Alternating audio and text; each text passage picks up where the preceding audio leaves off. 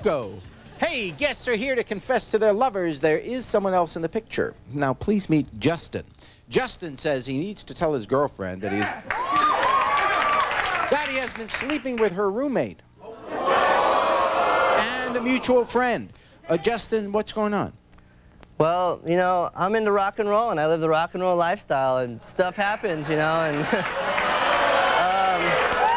I've been, I've been with my girlfriend for, I've been with my girlfriend for about a year, and um, you know, for the last few months, some stuff's been happening with my roommate, and you know, I go on tour, I'm gone for months at a time, and we party, and pff, things happen, you know.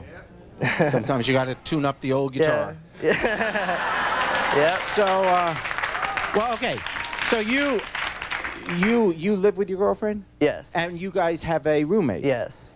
And she is the one you're sleeping with. Yes, one of the people I'm sleeping with. All right. Let's. Well, uh, you can tell her. Let's bring out your girlfriend, Allysia.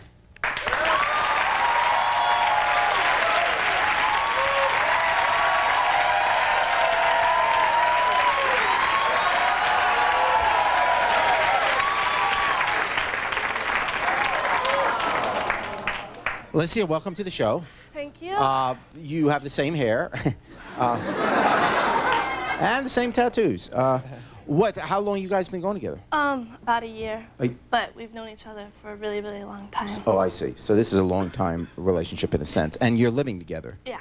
Yeah. And how is the relationship going? Um, up and down. I mean, in the beginning, it was wonderful. We were gonna get married, have children. I was gonna put his name, fucking heart and back. Right in. But um, if I'm here, obviously, it's not good. I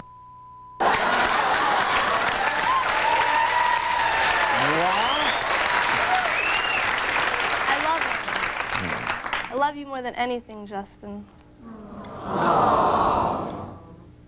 Go ahead, talk to her. I mean, she seems like a lovely Well, lady. You understand, like, I go away on tour for like a long time and you're always pissed at me and always mad about thinking that I sleep with everyone or whatever and like, I mean, stuff happens, you know, like when we go, when we, when we go on tour and like things happen and I haven't been faithful and I've been seeing someone.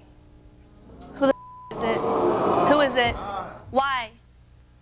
Why would you say you wanted to marry me and have children with me? A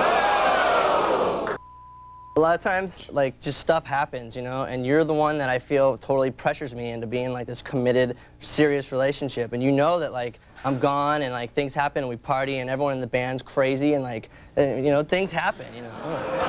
You were you were such a rock star. A I want musician's to know lament. who it is. Who is it, Justin? Let's bring. Let's br- come on out. Let's bring her out.